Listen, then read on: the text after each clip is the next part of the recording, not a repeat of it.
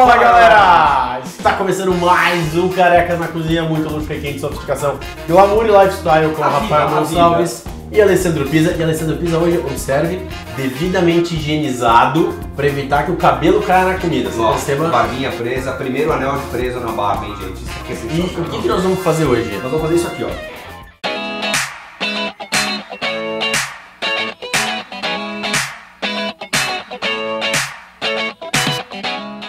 Batata doce, cara. 10 entre 10 maromba, adoro isso aqui, porque isso aqui é muito bom. E hoje cara. nós vamos ressignificar a batata doce. Nós vamos dar uma nova Exatamente. importância para um negócio que já é importante, cara. Exatamente. A gente vai fazer um ceviche de batata doce. Vamos embora.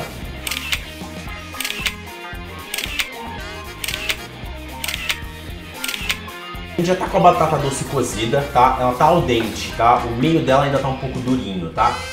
O que, que nós vamos fazer? A gente vai misturar um pouquinho de azeite, tá? Um pouquinho de azeite. E a gente vai colocar uma cebola.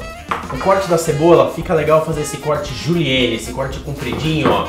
Porque a batata doce já tá em cubo. Então o Ale vai mostrar aí como é que a gente faz aí esse julienne. Presta atenção a destreza do amigo aqui, hein? Ó. Vai levar a cabeça do dedo junto, né? Corta no meio, corta no meio, e aí você corta no meio de novo. E ela vai ficando Aí. nesse formatinho.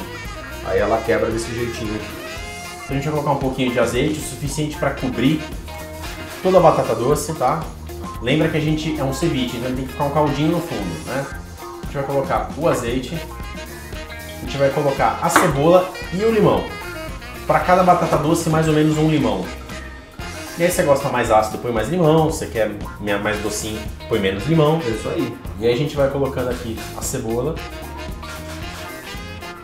Também uma cebola pequena para cada batata doce tá de bom tamanho, tá? Aqui tem duas batatas doces, Isso. como aquela que você viu no começo da gravação. Exatamente, uma batata doce média. Como a gente vai ter que mexer, a gente calculou errado aqui. Vamos transferir. Muito bom, ó, já ficou o caldinho aqui. Agora a gente consegue mexer bem. Faz favor. Um limãozinho. Você viu a educação, né, da criança. Aí o limãozinho, ó. Perdeu o azeite, cara? Aí o limãozinho. Um pouquinho de pimenta. Olha que entradinha bacana. Um pouquinho de pimenta ou muita pimenta, depende, né, cara? Aí Vai do seu gosto. Entendeu? Tá bom, né? Mais quase, né? Isso. Foram 317, né? Mais ou menos? 428. Já inserimos o limão, aí a gente vem com as coisinhas verdes. Aqui eu tô trabalhando só com salsinha mesmo, tá, gente? Não, não tem cebolinha, não tem alecrim.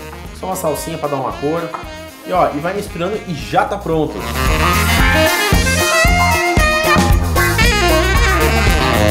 Para esse prato, achei legal trazer pra gente uma Santo Pisa Brunhilda. A Brunhilda é uma cerveja base trigo, é uma Dunkelweiss, é uma cerveja de trigo escura. Então ela tem um torrado bacana, não muito forte, mas tem uma... o trigo é torrado e é uma cerveja mais leve, é uma cerveja mais de verão que a gente fala, tá?